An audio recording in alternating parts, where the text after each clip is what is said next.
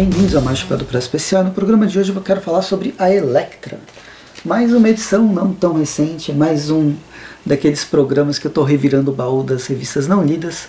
Essa Electra, Electra é do Totalmente Nova Marvel, que foi publicado em junho, uh, junho e outubro de 2016. Mas que no, nos Estados Unidos, uh, a série inteira é da edição número 1 a, 1 a 11, no, nos Estados Unidos foi publicado entre 2014 e 2015 e tem roteiros do Handen Blackman com as ilustrações do Mike Del, Ma, Michael Michael Del Mundo. E, bem, é, é uma história que eu achei bem legal, eu curti bastante. Na verdade é um arco só, são 11 edições que vai contar uma história completa. E dentro dessa história completa, a primeira edição, as cinco primeiras, ela fecha mais ou menos um arco de introdução e depois as outras, as outras seis edições tem é, é dividido em dois arcos, mas dá para é, o melhor a, a, melhor experiência de leitura lendo de uma forma é, a revista de, inteira, né, as, as 11 edições, que ela vai contar uma história só, que a Electra começa passando por um, uma crise de identidade, uma crise de profissão, sabe? É, as pessoas que já, o pessoal que já trabalha, fez faculdade, e aí você, em determinado momento você começa a pensar, mas por que, que eu estou fazendo, por que, que eu fiz essa faculdade no último ano do, de História?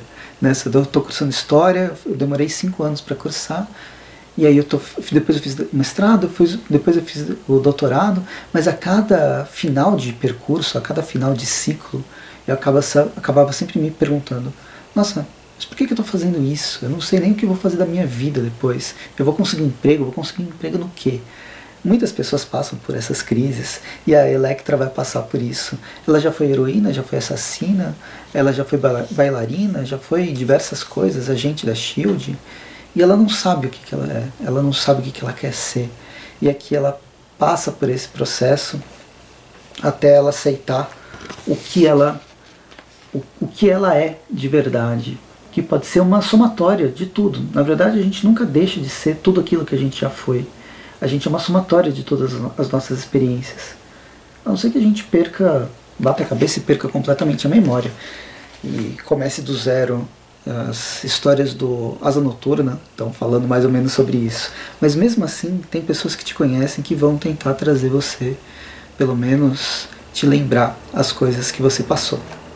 Mas enfim, estou viajando completamente a história, essa história da Electra, ela é contratada e a gente vai acompanhar uma missão meio que de resgate de um personagem chamado Corvo Encapuzado. Ele é um assassino também, que desistiu da vida de assassino, mas nas últimos, nos seus últimos trabalhos, nos seus últimos anos de como assassino de aluguel, ele resolveu é, atravessar trabalhos de outras pessoas para conseguir juntar uma graninha. Isso gerou a raiva de muita gente. Então, todo mundo da Liga dos Assassinos estão atrás do, desse corvo encapuzado e a Electra é contratada para tentar sequestrar, né, prender o, cor, o corvo sem que ele morra. É um personagem que foi criado nessa, pela, por essa dupla, né, o Mike Del Mundo e o Hayden Blackman eles acho que o, o, esse corvo encapuzado ele só vai aparecer nessa nessa série mesmo. E é um personagem para ele ter importância é através de flashbacks os dois autores vão mostrar como ele já venceu todos os grandes assassinos do universo Marvel. Ele encontra o caçador de escalpos o dente de sabre o mercenário qualquer outro. Bem são quatro grandes assassinos que ele acaba vencendo de uma forma muito fácil. Aqui os desenhos são sensacionais. Isso aqui é dentro da mente da Electra, que tem também um telepata que aparece no meio da, da história. Em paralelo, outras pessoas estão caçando o corvo. Tem participações especiais, por exemplo, do Caçador de Escalpos, da Mercenária, a Sociedade da Serpente. Trocentos outros vilões vão aparecer ao longo dessa desse, dessas 11 edições. E um outro personagem criado por essa dupla, que também só apareceu nessas, nesse primeiro arco ainda, nessa, na, na, metade do, da, da passagem do, dos autores. É um vilão canibal que come pedaços ou o corpo inteiro das suas vítimas e a partir do momento que ele come esse, esse corpo ele consegue, consegue a memória para bem e para mal e as habilidades dessa, dessa pessoa. É um personagem interessante, assim, é um personagem bem, bem poderoso, ou pelo menos aparentemente é, poderoso. Aqui veste essa cabeça de leão, mas que no fim ele é a questão dele, ele é tão perigoso, tão perigoso que surpreende porque ele acaba sendo vencido e esquecem dele completamente. E ele tem um nome que não faz jus à violência que ele, que ele propõe, que é Lábios Sangrentos ou alguma coisa assim. Eu até esqueci, esqueci até de anotar. Eu achei tão tosco esse nome assim. Putz, você tem um assassino que está atrás de você que se chama Lábios Sangrentos. Acabou, acabou. Ele, ele tem que dar, ele tem que dar outro nome para ele mesmo porque com esse nome ele não coloca medo em ninguém, a não ser que seja uma estratégia. Mas enfim, passado por isso, passado por esse susto, que o nome dele só vai aparecer no final da passagem dele, a gente tem uma história bem legal, uma história frenética de ação. O Mike Del Mundo tem esses desenhos muito. Mas ele, ele tende para um realismo, mas existe uma cinética muito, muito envolvente, muito uma narrativa gráfica bem, bem dinâmica. E vai levar no fim a Electra de um lado para o outro no mundo. Parece que o planeta é uma cidade pequena, onde ela vai de um lado pulando né, de país em país a cada, a cada edição, ou dentro de uma mesma edição, várias e várias vezes.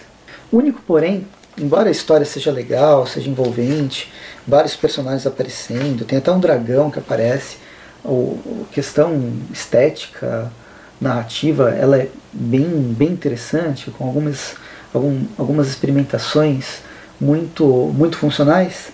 Eu acho que para se tratar de uma história de um assassino, ou de assassinos, a Liga dos Assassinos, uma assassina assassinando assassinos, e eu foi super redundante porque é para marcar bem isso, que era para ter muita morte, muita. Mas a contagem de mortos é extremamente baixa. E no fim, é, o que pega bastante é que é uma história que faz parte da continuidade. Olha, mais um pouco da arte. Faz parte da continuidade do universo Marvel. E por fazer parte dessa continuidade, os editores não permitem a eliminação de tanto personagem. Mesmo que sejam personagens secundários, terciários. A gente não vê a morte como deveria acontecer. O próprio, agora que eu estou lendo aqui, chama Dança da Morte. É, vocês não vão ler. Esse encadernado chama Dança da Morte, o primeiro encadernado chama linhagem assassina. Tudo remete à morte, tudo, tudo remete a sangue. E não, não morre quase ninguém. Morre alguns personagens, dois ou três, mas é, não são personagens de peso para o universo Marvel. E essa, essa história, a forma como ela foi conduzida, as questões que foram apresentadas, ela pedia que isso acontecesse. É uma pena. É uma pena porque eu sei que isso aqui é uma decisão editorial, é uma falta de liberdade editorial para os dois autores que conseguiram fazer, entregar um trabalho muito interessante. Então, se vocês curtiram Electra, vale a pena procurar em sebo. Acho que só em sebo atualmente dá para encontrar. E eu espero que vocês tenham gostado do vídeo. Curtam o vídeo, assinem o canal, assinem o Chapéu do Presto no Facebook, me sigam no Instagram, no arroba. E comentem, vocês leram Electra, não leram, gostaram dessa fase do Totalmente Nova Marvel ou não. A gente conversa nos comentários. Até mais. Aí ah, me siga no Instagram, no arroba Pressogal, a gente fala sobre filmes e séries. E a gente conversa sobre outros assuntos lá também. Mas, por enquanto, conversem comigo aqui sobre Electra aqui nos comentários. Até mais e bons quadrinhos.